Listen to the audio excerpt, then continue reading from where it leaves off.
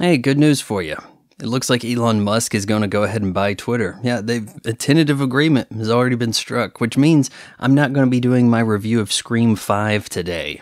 That maybe 5 people were looking forward to. Vaughn Job Vlog.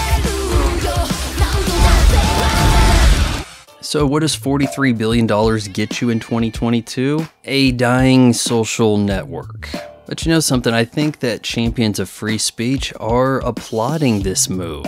I believe it was Plato who said that the best ruler is a philosopher king. In this case, our emperor of riches has come to redeem the internet. By all accounts, Elon Musk appears to be a proponent of free speech. And though that First Amendment in the United States only protects the citizens from the government, these social networks have given no such privilege because we've sold out the town square to the marketplace. And it's a market that is largely controlled by those who use it, not necessarily those who put the money into it. But all of that is about to change. Yeah, this could be your last chance to get banned from Twitter for medical misinformation. Oh no, did you say that those who are vaccinated may not need to wear a certain thing over their face? I'm, I'm actually afraid to say it in this video because I, I, I got reprimanded not long ago. I suppose this spells doom for Truth Social, which, by the way, I just got into yesterday. Yeah, uh, what a rocky start they had. You go a few months without letting anybody in, you get on this big wait list, and then it's really just Twitter, except instead of tweets, you truth. And I'm not even convinced that there's a way to search or find or, or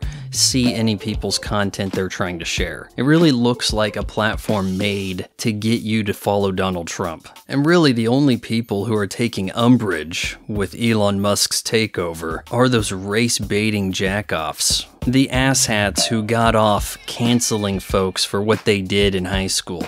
Your reign of tyranny has come to an end. Going forward, if I may make one suggestion, and no, Elon, I'm not following you until you follow me first. Hey, I don't make the rules. Hey, Elon, why don't we verify everybody who provided the correct credentials to prove that they are the person who is tweeting? You know, put an end to this artificial class warfare we have levied on the commoners right? The unverified versus the elitists. But the first big change I expect to be seeing is uh, an algorithm that works. The end of moderators determining what you need to see. No more fake news being purported as moments without any kind of attributed author, and your own followers actually seeing your tweets. What do you guys think? Was this a good investment for Elon Musk?